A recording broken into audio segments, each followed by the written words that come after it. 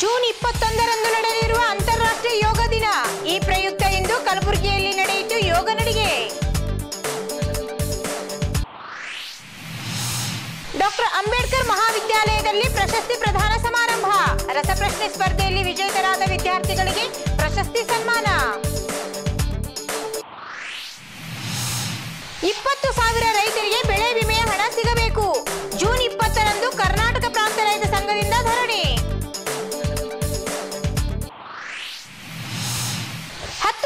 ನಾಲ್ಕುನೂರು ಪದಗಳ ದೀರ್ಘ ಹಿಂದಿ ಕಾವ್ಯ ರಚಿಸಿ ಅಲ್ಕಾ ಬಬ್ಲಾದ್ಕರ್ ದಾಖಲೆ. ಜಾಗತಿಕ ದಾಖಲೆ ಹಿಂದಿ ಕಾವ್ಯ ಎಂದು ಪರಿಗಣಿಸಿ ಪ್ರಶಸ್ತಿ. ಉತ್ತರ ಮತಕ್ಷೇತ್ರದಲ್ಲಿ ನಡೆಯುತ್ತಿರುವ ರಸ್ತೆ ಕಾಮಗಾರಿ. ಪೂರ್ಣಗೊಳಿಸುವಂತೆ ಜಾತ್ಯತೀತ ಜನತಾದಳದಿಂದ ಮನವಿ.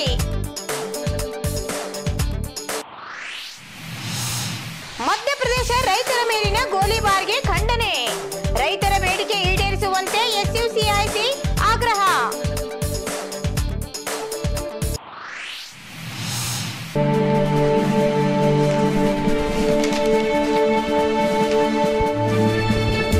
ಸುದ್ದಿ ಸಮಯಕ್ಕೆ ಸ್ವಾಗತ. ನಾನು ಅಂಬುಜಾ ಮಡ್ಖೇಡ್ಕರ್ ಜೂನ್ ಇಪ್ಪತ್ತೊಂದರಂದು ನಡೆಯಲಿರುವ ಅಂತಾರಾಷ್ಟ್ರೀಯ ಯೋಗ ದಿನದ ಅಂಗವಾಗಿ ಇಂದು ಯೋಗ ನಡಿಗೆ ಮಾಡಲಾಯಿತು.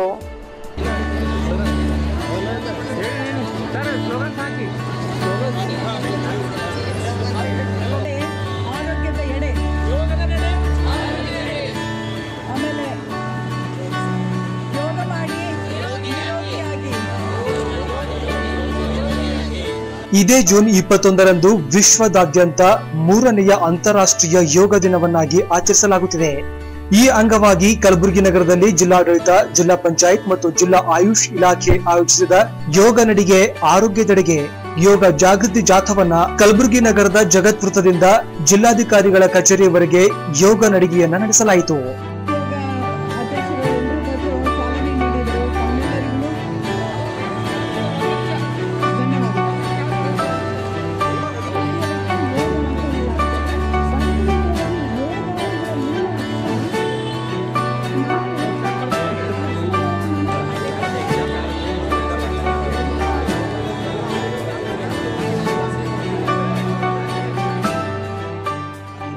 ಅಂತಾರಾಷ್ಟ್ರೀಯ ದಿನಾಚರಣೆಯ ಅಂಗವಾಗಿ ಪೂರ್ವಭಾವಿಯಾಗಿ ಯೋಗ ನಡೆಯನ್ನು ಹಮ್ಮಿಕೊಂಡಿದ್ದೇವೆ.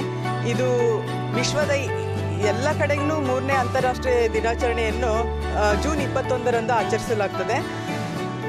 ಇದು ಯಾಕೆ ಮಾಡ್ತೀವಿ ಅಂತಂದ್ರೆ, ಯೋಗ ಅಂತಂದ್ರೆ ಬರೀ ಶಾರೀರಿಕ ಅಲ್ಲ ಮಾನಸಿಕವಾಗಿಯೂ ಸಹಿತ ಆಧ್ಯಾತ್ಮಿಕವಾಗಿ ಇದನ್ನು ಜೋಡಣೆ ಮಾಡೋದು. ಪರಮಾತ್ಮ ಆತ್ಮನಿಂದ ಪರಮಾತ್ಮ ನಡೆಗೆ ಜೋಡಿಸುವಂಥ ಕ್ರಿಯೆ ಮಾಡೋದು. ಇದು ಯೋಗ. ಬರೀ ಯೋಗ ಶಾರೀರಿಕ, ಮಾನಸಿಕ ಹಾಗೂ ಆಧ್ಯಾತ್ಮಿಕವಾಗಿ ಸೇರುವಿಕೆ ಆಗೋದ್ರಿಂದ ಒಂದು ಮನುಷ್ಯನಲ್ಲಿ ಒಂದು ಅಗಾಧವಾದಂಥ ಶಕ್ತಿ ಉತ್ಪತ್ತಿ ಆಗ್ತದೆ. ಈ ಅಗಾಧವಾದಂಥ ಶಕ್ತಿಗೆ ನಾವು ಯೋಗವನ್ನು ಬಳಸ್ಕೊಳ್ಬೇಕಾಗ್ತದೆ. ಇದು ಐದು ಸಾವಿರ ವರ್ಷಗಳ ಹಿಂದಿನಿಂದನೇ ವೇದ ಮತ್ತು ಉಪನಿಷತ್ತುಗಳಿಂದ ಯೋಗ ಪ್ರಚಲಿತವಾಗಿದೆ.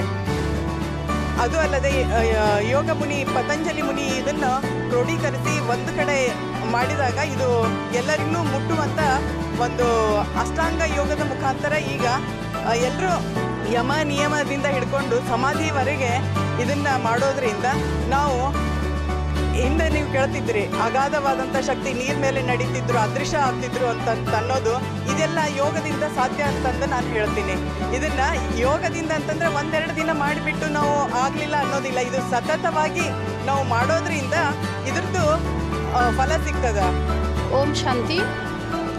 ಇಂದು ಆಯುಷ್ ವಿಭಾಗದ ವತಿಯಿಂದ ಹಾಗೂ ಪ್ರಜಾಪಿತ ಬ್ರಹ್ಮಕುಮಾರಿ ಈಶ್ವರೀಯ ವಿಶ್ವವಿದ್ಯಾಲಯದ ವತಿಯಿಂದ ನಮ್ಮ ನಡೆ ಆರೋಗ್ಯದೆಡೆ ಅನ್ನುವಂತಹ ವಿಶೇಷ ಪಾದಯಾತ್ರೆಯ ಕಾರ್ಯಕ್ರಮವನ್ನು ಹಮ್ಮಿಕೊಳ್ಳಲಾಗಿತ್ತು.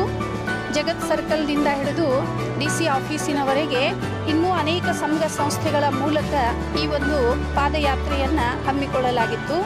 ಈ ಒಂದು ಕಾರ್ಯಕ್ರಮದ ಮುಖ್ಯ ಉದ್ದೇಶ ಆಗಿದೆ ಮಾನವನ ಸರ್ವಾಂಗೀಣ ಆರೋಗ್ಯದ ಬಗ್ಗೆ. ಆರೋಗ್ಯ ಅಂದ ತಕ್ಷಣ ಕೇವಲ ಶಾರೀರಿಕ ಆರೋಗ್ಯ ಅಷ್ಟೇ ಅಲ್ಲ, ಶರೀರ ಆರೋಗ್ಯವಾಗಿದೆ, ಆದರೆ ಮನಸ್ಸಿನಲ್ಲಿ ಚಿಂತೆಗಳು ಮಾನಸಿಕ ತ ತೊಲಲಾಟಗಳಿದ್ರೂ ಕೂಡ ಮನುಷ್ಯನ ಜೀವನ ಸಂಪೂರ್ಣ ಸುಖಿಯಾಗಲು ಸಾಧ್ಯ ಇಲ್ಲ. ಹೀಗೆ ಆರೋಗ್ಯದ ಒಂದು ಪರಿಪೂರ್ಣ ಒಂದು ಅರ್ಥ ನಾವು ಹೇಳಬೇಕು ಅಂತಂದರೆ ಶಾರೀರಿಕ ಆರೋಗ್ಯ, ಮಾನಸಿಕ ಆರೋಗ್ಯ ಹಾಗೂ ಸಾಮಾಜಿಕ ಆರೋಗ್ಯ ಮತ್ತು ಆಧ್ಯಾತ್ಮಿಕ ಆರೋಗ್ಯ. ಈ ನಾಲ್ಕು ಆರೋಗ್ಯಗಳು ಇದ್ದಾಗ ಜೊತೆಗೆ ಆರ್ಥಿಕ ಸಬಲತೆ ಈ ಐದು ಸಮತೋಲನವನ್ನು ಕಾಯ್ದುಕೊಂಡಾಗ ಮಾತ್ರ ಮಾನವ ಸಂಪೂರ್ಣ ಆರೋಗ್ಯವಂತ ಅಂತ ಹೇಳ್ಬೋದು. ಈ ಸಂಪೂರ್ಣ ಆರೋಗ್ಯದ ನಿಟ್ಟಿನಲ್ಲಿ ಮೊದಲನೆಯ ಹೆಜ್ಜೆ ಯೋಗಾಸನಗಳು. ಹೀಗೆ ಯೋಗಾಸನಗಳನ್ನು ವಿಶೇಷವಾಗಿ ಪತಂಜಲಿ ಮುನಿಗಳು ಪ್ರಾಚೀನ ಕಾಲದಿಂದಲೂ ನಮ್ಮ ದೇಶದಲ್ಲಿ ಹೇಳ್ತಾ ಬಂದರು. ಆದರೆ ಮಾನವ ತನ್ನ ಒಂದು ದೈನಂದಿಕ ಚಟುವಟಿಕೆಗಳಲ್ಲಿ ಅಥವಾ ಸಂಪೂರ್ಣ ವ್ಯಸ್ತ ಜೀವನದಲ್ಲಿ ಅತ್ತ ಕಡೆ ಗಮನ ಕೊಡದೆ ಇಂದು ಸಾಕಷ್ಟು ರೋಗಗಳಿಗೆ ತುತ್ತಾಗಿದ್ದಾನೆ. ಇಂದು ಮನುಷ್ಯನಿಗೆ ಅರ್ಥ ಆಗಿದೆ, ನಮ್ಮ ಶರೀರ ಆರೋಗ್ಯವಾಗಿದ್ದಾಗಲೇ ಮಾನಸಿಕ ಆರೋಗ್ಯವನ್ನು ಕಾಪಾಡಿಕೊಳ್ಳಲು ಸಾಧ್ಯ. ಶರೀರ ಮತ್ತು ಮನಸ್ಸು ಆರೋಗ್ಯವಾಗಿದ್ದಾಗಲೇ ಸಾಮಾಜಿಕವಾಗೂ ಕೂಡ ಹಾಗೂ ಕೌಟುಂಬಿಕವಾಗೂ ಕೂಡ ನಾವು ಆರೋಗ್ಯವನ್ನು ಕಾಪಾಡಿಕೊಳ್ಬೋದು. ಈ ಜಾಥಾದಲ್ಲಿ ಆಯುರ್ವೇದ ವೈದ್ಯ ವಿದ್ಯಾರ್ಥಿಗಳು ವೈದ್ಯರು ಯೋಗಾಭಿಮಾನಿಗಳು ಬ್ರಹ್ಮಕುಮಾರಿ ಈಶ್ವರೀಯ ವಿಶ್ವವಿದ್ಯಾಲಯದವರು ವಿವಿಧ ಇಲಾಖೆಯ ನೌಕರರು ಸಂಘ ಸಂಸ್ಥೆಗಳ ಪ್ರಮುಖರು ಭಾಗವಹಿಸಿದರು. ರಸಪ್ರಶ್ನೆಯಲ್ಲಿ ವಿಜೇತರಾದ ವಿದ್ಯಾರ್ಥಿಗಳಿಗೆ ಡಾಕ್ಟರ್ ಬಿಆರ್ ಅಂಬೇಡ್ಕರ್ ಕಾಲೇಜಿನಲ್ಲಿ ಪ್ರಶಸ್ತಿ ಪ್ರದಾನ ಸಮಾರಂಭ ಜರುಗಿತು. ಕಲಬುರಗಿ ನಗರದ ಡಾಕ್ಟರ್ ಅಂಬೇಡ್ಕರ್ ಮಹಾವಿದ್ಯಾಲಯದಲ್ಲಿ ಪ್ರಥಮ ಮತ್ತು ದ್ವಿತೀಯ ವರ್ಷದ ವಿದ್ಯಾರ್ಥಿಗಳಿಗಾಗಿ ರಸಪ್ರಶ್ನೆ ಸ್ಪರ್ಧೆಯನ್ನ ಆಯೋಜಿಸಲಾಗಿತ್ತು. ಈ ಸ್ಪರ್ಧೆಯಲ್ಲಿ ಭಾಗವಹಿಸಿ ವಿಜೇತರಾದ ವಿದ್ಯಾರ್ಥಿಗಳಿಗೆ ಪ್ರಶಸ್ತಿ ಪ್ರದಾನ ಸಮಾರಂಭವನ್ನ ಇಂದು ಆಯೋಜಿಸಲಾಗಿತ್ತು.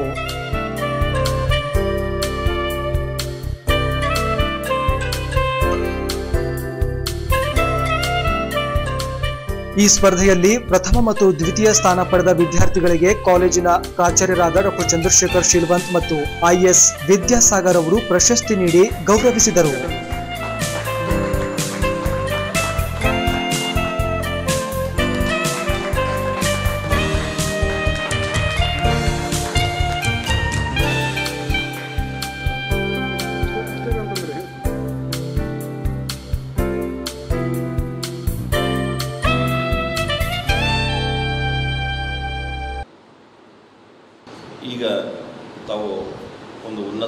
ಉನ್ನತವಾದಂಥ ಒಂದು ವ್ಯಾಸಂಗವನ್ನು ಮಾಡಿಕೊಂಡು ಹೋಗ್ತಾ ಇದ್ದೀರಾ? ಯೂಶ್ವಲಿ ಎಂ ಕಾಮ್ನ ಮಾಡ್ತೀವಿ ಅಂತಂದರೆ ಒಂದು ಉಪನ್ಯಾಸಕ ವೃತ್ತಿಯನ್ನು ನಾವು ಪಡ್ಕೊಳ್ಳಿಕ್ಕೆ ಈ ಒಂದು ಕ್ಷೇತ್ರಕ್ಕೆ ನಾವು ಕಾಲಿಟ್ಟಿರ್ತೀವಿ ಸರ್ ಅವರು ಹೇಳಿದ ಹಾಗೆ ನೀವು ಏನಾದರೂ ಡಿಗ್ರಿ ಕಾಲೇಜಿನಲ್ಲಿ ಉಪನ್ಯಾಸಕರಾಗಿ ಸೇವೆ ಸಲ್ಲಿಸಬೇಕಾಗಿತ್ತು, ವಿಶ್ವವಿದ್ಯಾಲಯಗಳಲ್ಲಿ ಸೇವೆಯನ್ನು ಸಲ್ಲಿಸಬೇಕಾಗಿತ್ತು ಅಂತಂದರೆ ನೆಟ್ ಸೆಕ್ಟರ್ಗೂ ಕಂಪಲ್ಸರಿ ಮಾಡಿದ್ದಾರೆ ಯು ಜಿ ಸಿಯಿಂದ ಅಥವಾ ಡಾಕ್ಟ್ರೇಟ್ ಪದವಿ ಪಿ ಎಚ್ ಡಿ ಪದವಿಯನ್ನು ಕಂಪಲ್ಸರಿ ಮಾಡಿದ್ದಾರೆ. ಒಂದನ್ನು ನೆನಪಿಡಿ ನೀವು. ಬರೀ ಎಂ ಕಾಮ್ ನಮಗೆ ನೌಕರಿ ಸಿಗಲ್ಲ ರೀ ಸರ್ ಅಂತಕ್ಕಂಥದ್ದು ಸಿಗ್ತದೆ. ಬಟ್ ಬಿ ಎಡ್ ಮಾಡ್ಕೊಳ್ಬೇಕಾಗ್ತದೆ. ಬಿ ಎಡ್ ಮಾಡಿಕೊಂಡು ನೀವು ಪಿ ಯು ಸಿನಲ್ಲಿ ಏನಂತಂದರೆ ಉಪನ್ಯಾಸಕರಾಗಿ ಸೇವೆಯನ್ನು ಸಲ್ಲಿಸಲಿಕ್ಕೆ ನಿಮಗೆ ಯೋಗ್ಯತೆ ಬರ್ತದೆ. ಮೊದಲ ಒಂದು ಮೂರು ವರ್ಷದ ಹಿಂದ್ಗಡೆ ಬರೀ ಎಂ ಕಾಮನ್ನು ಮುಗಿಸ್ಕೊಂಡ್ರೆ ತಾವುಗಳು ಪಿ ಯು ಕಾಲೇಜಿನಲ್ಲಿ ಉಪನ್ಯಾಸಕರಾಗಿ ಸೇರಲಿಕ್ಕೆ ಅರ್ಹತೆ ಇತ್ತು. ಆದರೆ ಈಗ ಅಲ್ಲಿ ಬಿ ಎಡ್ ಕೂಡ ಏನಪ್ಪ ಅಂದರೆ ಕಂಪಲ್ಸರಿಯಾಗಿ ಮಾಡಿದ್ದಾರೆ. ಮತ್ತು ಇಷ್ಟೇ ಅಲ್ಲ ಬಿಸ್ನೆಸ್ ಕೂಡ ನೀವು ಮಾಡ್ಬೋದು. ಲೋನನ್ನು ತೆಗೆದುಕೊಂಡು ನಿಮ್ಮ ಕಾಲ ಮೇಲೆ ನೀವು ನಿಂತು ಒಂದು ಯಾವುದೇ ವೃತ್ತಿಯನ್ನು ಕೂಡ ನೀವು ಕೈಗೊಳ್ಳಿಕ್ಕೆ ಕೂಡ ನೀವು ಹರಿದಿರ್ತಕ್ಕಂಥವ್ರು ಈ ಡಿಸ್ಟಿಕ್ ಇಂಡಸ್ಟ್ರಿ ಸೆಂಟ್ರಿಗೆ ನೀವು ಹೋದರೆ ಅಲ್ಲಿ ನಿಮಗೆ ಟ್ರೈನಿಂಗನ್ನು ಕೊಡ್ತಾರೆ. ಯಾವ ಬ್ಯಾಂಕ್ಲಿಂದ ಲೋನನ್ನು ತೆಗೆದುಕೊಳ್ಬೋದು ನಾವು, ಯಾವ ಕ್ಷೇತ್ರದಲ್ಲಿ ಏನಪ್ಪ ಅಂದರೆ ಬಿಸ್ನೆಸ್ಸನ್ನು ಪ್ರಾರಂಭ ಮಾಡ್ಬೋದು ಅದಕ್ಕೆ ಬೇಕಾಗಿರ್ತಕ್ಕಂಥ ರಾ ಮಟೀರಿಯಲ್ಸ್ ಎಲ್ಲಿ ಸಿಗ್ತವೆ? ನೀವು ಪ್ರೊಡಕ್ಷನನ್ನು ಮಾಡಿದ ಮೇಲೆ ಯಾವ ಭಾಗದಲ್ಲಿ ಹೋಗಿ ಅದನ್ನು ಮಾರಾಟ ಮಾಡಬೇಕು? ಸೊ ಇಲ್ಲಿಯವರೆಗೆ ಸಹ ತಮಗೇನಪ್ಪ ಅಂತಂದರೆ ಅವರ ಒಂದು ಉನ್ನತವಾಗಿರ್ತಕ್ಕಂಥ ಒಂದು ಟ್ರೈನಿಂಗನ್ನು ಆ ಡಿ ಐ ಸಿ ಆಫೀಸ್ನಲ್ಲಿ ಏನಪ್ಪ ಅಂದರೆ ನಿಮಗೆ ಕೊಡ್ತಾರೆ. ಈ ಕ್ವಿಚ್ ಕಾಂಪಿಟೇಷನ್ ರಸಪ್ರಶ್ನೆ ಕಾರ್ಯಕ್ರಮ ನಮ್ಮ ವ್ಯಕ್ತಿತ್ವ ವಿಕಾಸಕ್ಕೆ ಬಹಳ ಸಮೀಪವಾಗಿರ್ತಕ್ಕಂಥ ಕಾರ್ಯಕ್ರಮ. ಕರೆಂಟ್ ಇವೆಂಟ್ಸು ಜನರಲ್ ನಾಲೇಜು ಸಬ್ಜೆಕ್ಟ್ಗಳನ್ನು ನೇರವಾಗಿ ಅರ್ಥ ಮಾಡಿಕೊಳ್ಳೋಕ್ಕೆ ಇದು ಬಹಳ ಉತ್ತಮ ಕಾರ್ಯಕ್ರಮ. ತಾವು ಅದನ್ನು ಮಾಡಿದ್ದೀರಿ. ವಿದ್ಯಾರ್ಥಿಗಳ ಸೇರಿ ಅದನ್ನು ಆರ್ಗನೈಸ್ ಮಾಡಿದ್ದೀರಿ. ಮತ್ತು ವಿಷಯವನ್ನು ಗಹನವಾಗಿ ತಿಳ್ಕೊಳ್ತಕ್ಕಂಥ, ಆಲೋಚನೆ ಮಾಡ್ತಕ್ಕಂಥ ವಿಚಾರ ಮಾಡಿದ್ದೀರಿ. ಆ ಕಾರಣಕ್ಕಾಗಿ ಕಾಲೇಜಿನ ಪಿ ಜಿ ಸೆಂಟರ್ ವತಿಯಿಂದ ನಿಮ್ಮೆಲ್ಲರಿಗೆ ಮೊದಲಿಗೆ ಹೃತ್ಪೂರ್ವಕವಾಗಿರ್ತಕ್ಕಂಥ ಅಭಿನಂದನೆಗಳು. ಉದಾಹರಣೆಗೆ ದಯವಿಟ್ಟು ಮಕ್ಕಳೇ, ಈ ವರ್ಷ ನಿಮ್ಮ ಎಂ ಕಾಮ್ ಮುಗಿದ ನಂತರ ಇನ್ನೂ ಉನ್ನತವಾಗಿರುವ ವ್ಯಾಸಂಗಕ್ಕೂ ಅವಕಾಶ ಇದೆ. ಎಂ ಫಿಲ್ ಇದೆ ಪಿ ಎಚ್ ಡಿ ಇದೆ. ಮತ್ತು ಮುಂದೆ ನೀವು ಪ್ರತಿ ಕೋರ್ಸಿಗೆ ಹೋಗುವುದಕ್ಕಾಗಿ ನೆಟ್ ಆ್ಯಂಡ್ ಸೆಟ್ ಕಾಂಪಿಟೇಟಿವ್ ಎಕ್ಸಾಮಿನೇಷನ್ಸ್ಗಳಿರುತ್ತೆ ದಯವಿಟ್ಟು ಮಕ್ಕಳೇ ಈ ಕ್ವಿಜ್ ಕಾರ್ಯಕ್ರಮವನ್ನು ಹ್ಯಾಕ್ ಮಾಡಿಕೊಂಡು ವಿಷಯವನ್ನು ಅರ್ಥ ಮಾಡಿಕೊಳ್ಳುವ ಪ್ರಾಮಾಣಿಕ ಪ್ರಯತ್ನ ಮಾಡಿದ್ರಲ್ಲ ಹಾಗೆಯೇ ನೆಕ್ಸ್ಟ್ ಸೆಟ್ ಪಾಸ್ ಆಗುವುದಕ್ಕೆ ಬೇಕಾಗಿರುವ ಸಿದ್ಧತೆಗಳನ್ನು ದಯವಿಟ್ಟು ಮಾಡಿಕೊಳ್ಳಿ. ನನಗನಿಸಿರೋ ಮಟ್ಟಿಗೆ ಅದು ಭಾಳ ಹಾರ್ಡೇನಿರುವುದಿಲ್ಲ ಅದಕ್ಕೆ ಸ್ಪೆಸಿಫಿಕ್ ಸಿಲೆಬಸ್ ಇರುತ್ತೆ. ಅಲ್ಲಿ ಈಗ ಡಿಸ್ಕ್ರಿಪ್ಟಿವ್ ಕ್ವಶನ್ಗಳನ್ನು ತೆಗೆದುಹಾಕಿದ್ದಾರೆ. ಆಬ್ಜೆಕ್ಟಿವ್ ಕ್ವಶನ್ಗಳನ್ನು ಮಾಡಿರ್ತಾರೆ.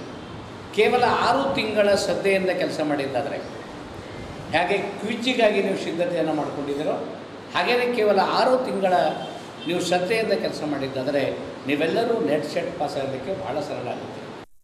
ಈ ಸಂದರ್ಭದಲ್ಲಿ ಕಾಲೇಜಿನ ವಿದ್ಯಾರ್ಥಿ ವಿದ್ಯಾರ್ಥಿನಿಯರು ಬೋಧಕ ಬೋಧಕೇತರ ಸಿಬ್ಬಂದಿಗಳು ಪಾಲ್ಗೊಂಡಿದ್ದರು. ರೈತರ ಬೆಳೆ ವಿಮೆ ನೀಡುವಂತೆ ಆಗ್ರಹಿಸಿ ಕರ್ನಾಟಕ ಪ್ರಾಂತ ರೈತ ಸಂಘದಿಂದ ಜೂನ್ ಇಪ್ಪತ್ತೊಂದರಂದು ಧರಣಿ ನಡೆಯಲಿದೆ. ಕಲಬುರಗಿ ಜಿಲ್ಲೆಯ ಸುಮಾರು ಇಪ್ಪತ್ತು ಸಾವಿರ ಜನ ರೈತರಿಗೆ ಪ್ರಧಾನಮಂತ್ರಿ ಫಸಲ್ ಬಿಮಾ ಯೋಜನೆಯ ವಿಮಾ ಹಣ ಸಿಗಬೇಕಾಗಿದ್ದು ವಿಮಾ ಹಣ ನೀಡಲು ಆಗ್ರಹಿಸಿ ಜೂನ್ ಇಪ್ಪತ್ತರಂದು ಕೃಷಿ ಇಲಾಖೆಯ ಜಂಟಿ ನಿರ್ದೇಶಕರ ಕಚೇರಿಯ ಮುಂದೆ ಧರಣಿ ನಡೆಸಲಾಗುವುದು ಎಂದು ಕರ್ನಾಟಕ ಪ್ರಾಂತ ರೈತ ಸಂಘದ ರಾಜ್ಯ ಉಪಾಧ್ಯಕ್ಷ ಮಾರುತಿ ಮಾನ್ಪಡೆ ಪತ್ರಿಕಾಗೋಷ್ಠಿಯಲ್ಲಿ ತಿಳಿಸಿದ್ದಾರೆ. ಬಹಳ ಆದಂಥ ಯೋಜನೆಯನ್ನು ಪ್ರಧಾನಮಂತ್ರಿಗಳು ಚಾಲೂ ಮಾಡಿದ್ದಾರೆ.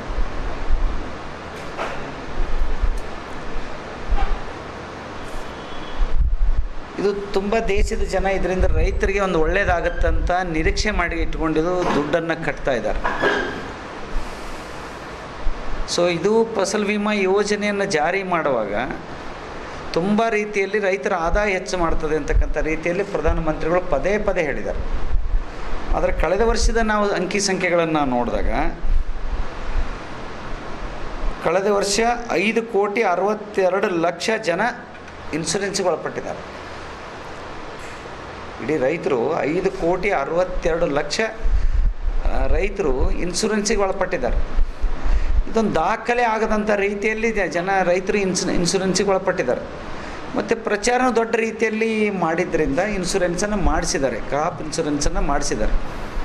ಆದರೆ ಇಂಥ ದೊಡ್ಡ ಕ್ರಾಪ್ ಇನ್ಸೂರೆನ್ಸಿನ ಯೋಜನೆ ಕ್ಲೈಮನ್ನು ನಾವು ನೋಡುವಾಗ ಕ್ರಾಪ್ ಇನ್ಸೂರೆನ್ಸ್ ಹಣ ಸಂಗ್ರಹ ಮಾಡಿದ್ದು ಎಷ್ಟು ಅಂತ ಸ್ವಲ್ಪ ಮಟ್ಟಿಗೆ ನಾವು ಗಮನಿಸಿದರೆ ಹದಿನಾರು, ಹದಿನೇಳರಲ್ಲಿ ಇಪ್ಪತ್ತೊಂದು ಸಾವಿರದ ಐನೂರು ಕೋಟಿ ರೂಪಾಯಿ ಹಣ ಸಂಗ್ರಹ ಮಾಡಿದ್ದಾರೆ. ಅಮೌಂಟ್ ಏಳ್ನೂರ ಹದಿನಾಲ್ಕು ಸಾವಿರ ಹದಿನಾಲ್ಕು ಕೋಟಿ. ಇಪ್ಪತ್ತೊಂದು ಸಾವಿರದ ಐನೂರು ಕೋಟಿ ರೂಪಾಯಿ ವಿಮಾ ಕಂತನ್ನು ಸಂಗ್ರಹ ಮಾಡಿದ್ದಾರೆ. ಪರಿಹಾರ ಕೊಟ್ಟದ್ದೇನಿದೆಯಲ್ಲ ಏಳುನೂರ ಹದಿನಾಲ್ಕು ಕೋಟಿ ರೂಪಾಯಿ ಕೊಟ್ಟಿದ್ದಾರೆ. ಜೊತೆಗೆ ಜನ ಎಷ್ಟು ಅಂದರೆ ಐದು ಕೋಟಿ, ತೊಂಬತ್ತಾರು, ಐದು ಕೋಟಿ ಅರವತ್ತೆರಡು ಲಕ್ಷ ತೊಂಬತ್ತ ಪಾಯಿಂಟ್ ತೊಂಬತ್ತೆರಡು ಲಕ್ಷ, ಐದು ಕೋಟಿ ತೊಂಬತ್ತ ಅರವತ್ತ್ಮೂರು ಲಕ್ಷ ಅಂದರೆ ಐದು ಕೋಟಿ ತೊಂಬ ಅರವತ್ತ್ಮೂರು ಲಕ್ಷದಷ್ಟು ವಿಮಾ ಮಾಡಿಸಿದ್ದಾರೆ ಇಡೀ ದೇಶದಲ್ಲಿ. ಸೊ ಇದು ಏನು ತೋರಿಸ್ತದೆ ಅಂತನ್ನುವಾಗ ಮತ್ತು ಇದ್ರ ಹಣನ ರೈತರಿಗೆ ಸಿಗಬೇಕು, ಬೆಳೆ ನಷ್ಟ ಪರಿಹಾರ ಮಾಡಬೇಕು ಅಂತಕ್ಕಂಥ ವಿಷಯನ ನೋಡಿದಾಗ ಇದು ಪ್ರಧಾನಮಂತ್ರಿಯವರನ್ನು ಬೊಗಳೆ ಬೊಗಳೆಗೆ ಬೆಳೆ ವಿಮಾ ಆಗಿದೆ. ರೈತರಿಗೆ ಸುಳ್ಳು ಹೇಳ್ತಕ್ಕಂಥ ಒಂದು ಬೆಳೆ ವಿಮೆ ಆಗಿದೆ ಅಂತ ಈ ಕ, ಈ ಕ್ಲೈಮನ್ನು ಅಂದರೆ ಪರಿಹಾರ ಸಿಕ್ಕದನ್ನು ನೋಡಿದಾಗ ನಮ್ಗೆ ಹೇಳಲಿಕ್ಕೆ ಅನಿಸ್ತಾ ಇದೆ. ಮುಖ್ಯವಾಗಿ ಅವರು ಇವತ್ತಿನದ ಆ ವಿಮಾ ಕೊಡ್ತಕ್ಕಂಥ ಪದ್ಧತಿ ಏನಿದೆ ಸರ್? ಬೆಳೆ ವಿಮಾ ಕೊಡ್ತಕ್ಕಂಥ ಏನು ಪದ್ಧತಿ ಇದೆ? ಆ ಪದ್ಧತಿಯನ್ನು ನೋಡಿದ್ರೆ ಎಲ್ಲರಿಗೂ ದಂಗಾಗ್ತದೆ ಏನಿದೆ ಪದ್ಧತಿ ಅಂದರೆ ನಂಬರ್ ಒನ್ ಏಳು ವರ್ಷದ ಬೆಳೆ ವಿಮಾನ ಆಚ, ಅಂದಾಜು ಮಾಡ್ತಾರೆ. ಏಳು ವರ್ಷದ ಬೆಳೆ ವಿಮೆನೇ ಇದು ಬೆಳೆ ಎಷ್ಟು ನಷ್ಟ ಆಗಿದೆ ಅಂತ ಅಂದಾಜು ಮಾಡ್ತಾರೆ. ಏಳು ವರ್ಷದಲ್ಲಿ ಅತ್ಯಂತ ಕಡಿಮೆ ಇದ್ದರೆ ಮಾತ್ರ ಇದು ಕೊಡ್ತಾರೆ.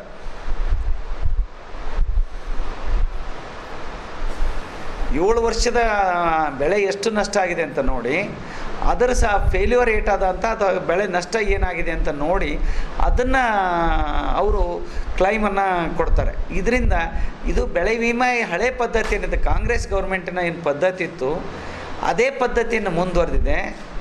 ಯಾವುದೇ ಬದಲಾವಣೆ ಮೋದಿಯವರು ಮಾಡಲಿಲ್ಲ, ಹೆಸರು ಮಾತ್ರ ಬದಲಾವಣೆ ಮಾಡಿದ್ದಾರೆ ಅಂತ ನಮಗನ್ಸುತ್ತೆ ಈ ಪತ್ರಿಕಾಗೋಷ್ಠಿಯಲ್ಲಿ ಅಶೋಕ್ ಮ್ಯಾಗೇರಿ, ಶರಣಬಸಪ್ಪ ಮಂಶೆಟ್ಟಿ ಇದ್ದರು.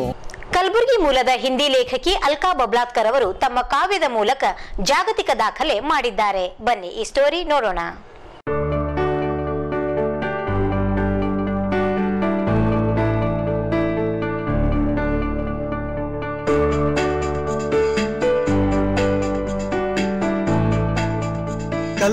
ಮೂಲದ ಹಿಂದಿ ಲೇಖಕಿ ಅಲ್ಕಾ ಬಬ್ಲಾತ್ಕರ್ ಅವರು ನಾರಿ ಶಬ್ದಾವಲಿ ಎಂಬ ಹತ್ತು ಸಾವಿರ ನಾನೂರು ಪದಗಳ ದೀರ್ಘ ಹಿಂದಿ ಕಾವ್ಯವನ್ನು ರಚಿಸಿ ದಾಖಲೆಯನ್ನು ಸ್ಥಾಪಿಸಿದ್ದಾರೆ.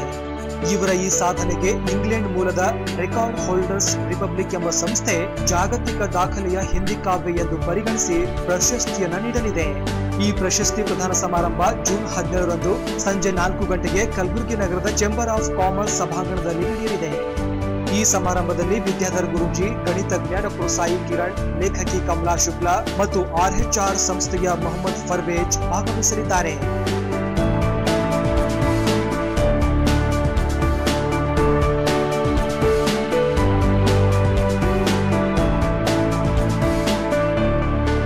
I have written a poem uh, titled uh, Nari Shabdavali, as I have given a, uh, you, you can uh, read it.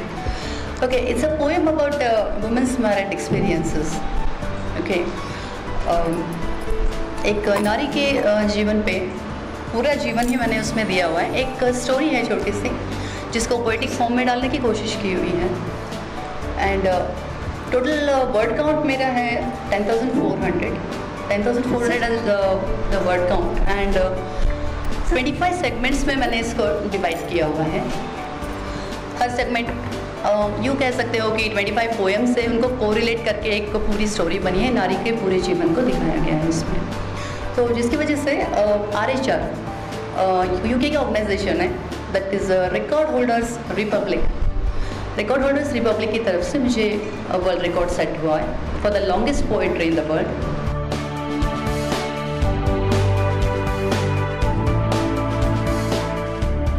ಸಂವೇದನೆಯ ಅನುಭವಗಳನ್ನ ಕಾವ್ಯವಾಗಿಸಿ ಇಪ್ಪತ್ತೈದು ವಿಭಾಗಗಳಲ್ಲಿ ಈ ದೀರ್ಘ ಕಾವ್ಯವನ್ನ ಅಲ್ಕಾ ಬಬ್ಲಾದ್ಕರ್ ಅವರು ರಚಿಸಿದ್ದಾರೆ. ಇವರು ಹರಿಯಾಣದಲ್ಲಿ ಶಿಕ್ಷಕಿ ವೃತ್ತಿಯಲ್ಲಿದ್ದು ಎರಡ್ ಸಾವಿರ ಹದಿನೈದರಲ್ಲಿ ಒಂದು ಕವನ ಸಂಕಲನವನ್ನ ಪ್ರಕಟಿಸಿದ್ದಾರೆ. ಖ್ಯಾತ ಪ್ರಕಾಶಕರಾದ ಪೆಂಗ್ವಿನ್ ಪಬ್ಲಿಕೇಶನ್ ನವರು ಈ ಕೃತಿಯನ್ನ ಪ್ರಕಟಿಸಿದ್ದಾರೆ ಎಂದು ಪತ್ರಿಕಾಗೋಷ್ಠಿಯಲ್ಲಿ ಅಲ್ಕಾ ಬಬ್ಲಾದ್ಕರ್ ತಿಳಿಸಿದ್ದಾರೆ. ಈ ಪತ್ರಿಕಾಗೋಷ್ಠಿಯಲ್ಲಿ Rajashree Chaudhary J L Shukla, R K Babladkar ಉಪಸ್ಥಿತರಿದ್ದರು.